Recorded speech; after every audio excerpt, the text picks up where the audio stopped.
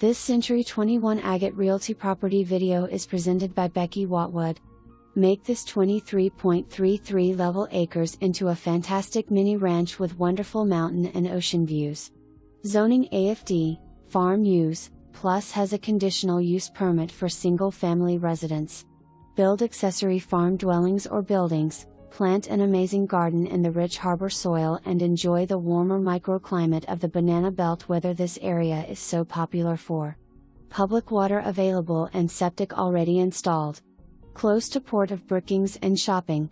For more information, review the details below or contact Becky Watwood at 541 661 1506.